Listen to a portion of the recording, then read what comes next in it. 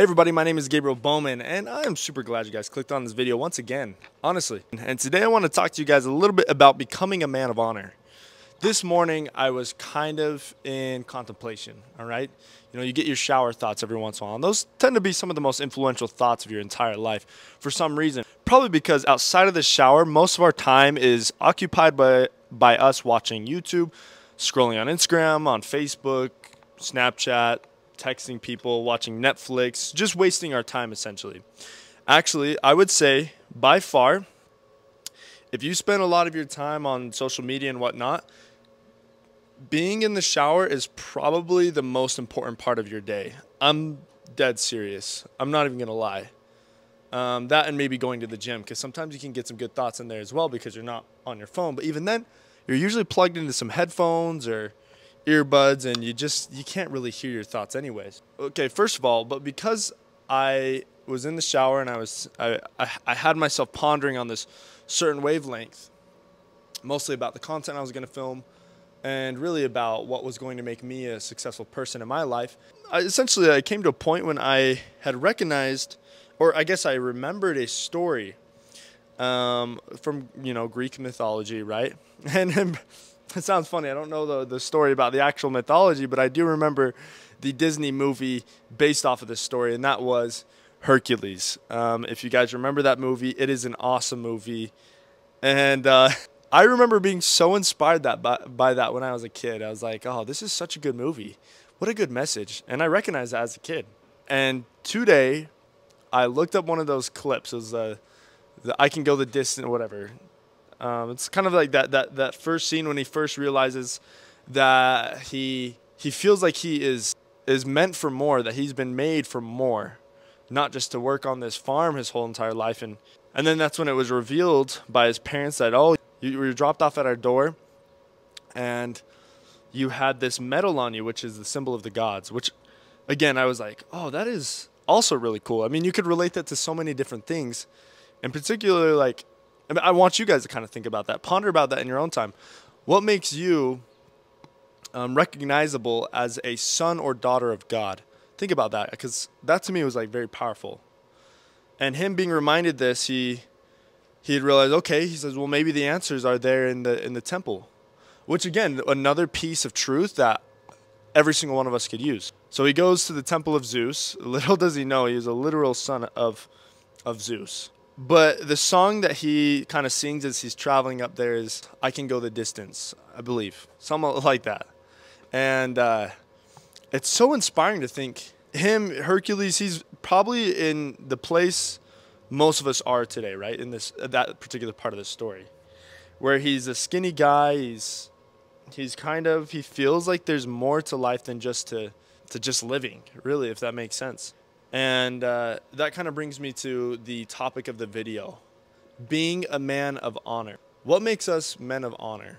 What would it, what would it require for us to be, to be titled men of honor? I think it's at this point in our lives, in this day in history, men have never been so not men ever, if that makes any sense where I mean, when we're looking at, I can't remember the exact me- measurement they use to, to, to measure testosterone levels, but our grandparents, our grandfather had a thousand, I think it's like kilohertz or something of testosterone, and today the average man has about, it's like 320 kilohertz of testosterone. The world's to tell you all sorts of reasons as to why that might be. And also, on top of that, you're also to get a lot of influences from the outside, usually um, undesirable women the you know the types that go to feminist rallies and, and marches.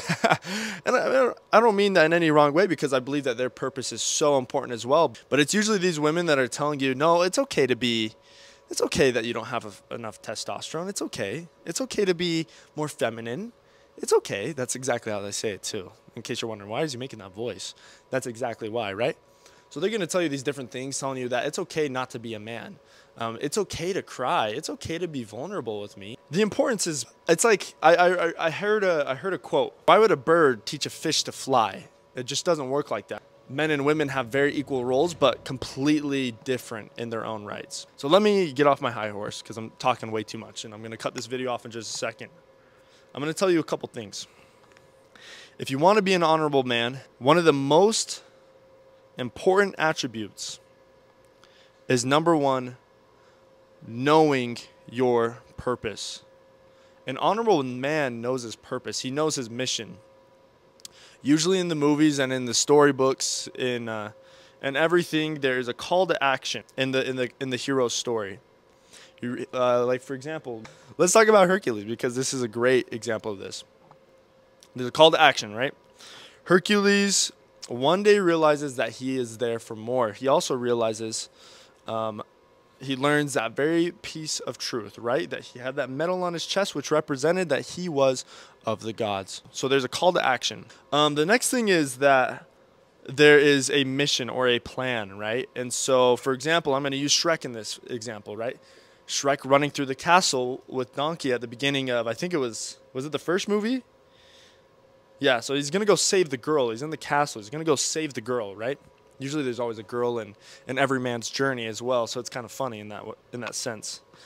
Um, the next big thing is usually there is a conflict, right? So something, another challenge that the man does not expect that he has to overcome and essentially defeat. Like for example, Frodo, he uh, he experiences this thing where he realizes that this ring is corrupting him, right? So not, not only is he on this time frame where he has to get rid of the ring, but he is being controlled by it. That it is uh, essentially killing him, right? Um, so that is another thing, right? There's maybe a conflict that comes in this story. And at the very end of all things, and I think life continues on for a very, very long time, a man is honorable in, this, in the fact that he is honest and he holds to his standards, which are true to his purpose, which is to, um, I don't know, slay the dragon, to save the princess, ultimately to win. Um, so I think you should design, like, think in your mind, what is my purpose? What was my call to action? Have I had it yet? And what's my hero story going to be? Because ultimately, you are not a man if you have no purpose.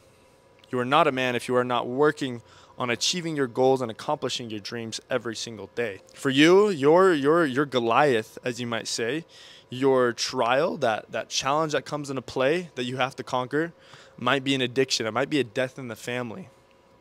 But ultimately, as men, we must overcome. That's what God sent us here to do and we must do things accordingly. Anyways, my name is Gabriel Bowman. I really hope you guys enjoyed that video. This was actually a very fun topic to talk about, and I'm looking forward to seeing you guys in the next video. Subscribe right now. I'm serious. Why is the camera tilting? What? You guys couldn't even see me that whole time? What the? I will be investing in a, a new tripod um, for this uh, for the next for soon, soon, whenever I can, because this sucks. Sorry. what a fetch.